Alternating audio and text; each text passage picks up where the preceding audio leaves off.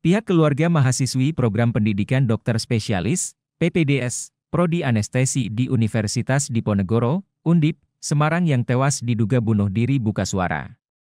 Pihak keluarga menduga korban tewas karena sakit.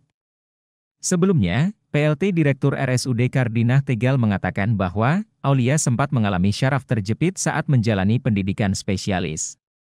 Lalu, apa penyebab sebenarnya dari tewasnya Aulia? Benarkah perundungan atau memang karena sakit yang ia derita? Dari uh, informasi yang bersangkutan dari keluarga dan baik-baik saja, cuman beliau memang pernah mengalami cedera. Cedera pada saat itu uh, ketika dalam pelaksanaan uh, ini uh, uh, PDPDS itu, ketika uh, di ruang operasi itu beliau melakukan suatu aktivitas yang menyebabkan ada trauma di tulang belakang cedera tulang belakang telah menjalani operasi HMP ini ya, HMP bilang yang mungkin menjadi pemberat tuduhan eh, pada saat melaksanakan eh, proses PPDS